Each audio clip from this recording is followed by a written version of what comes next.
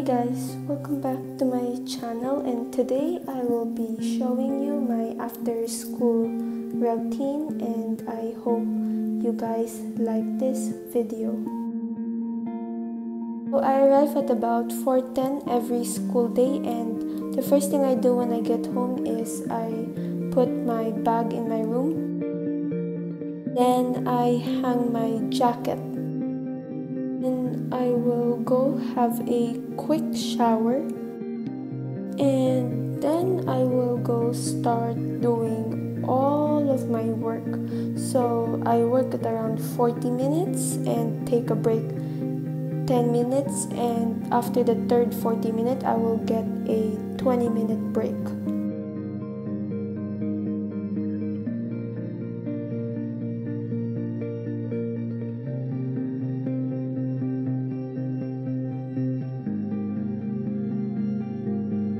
At about 7 o'clock, I will go down and have some dinner. After dinner, I will go back to my room and finish whatever studies I have left. If I have none, um, I will just relax and tune in, which doesn't happen very often. And after that, I will just go brush my teeth and change into my pajamas.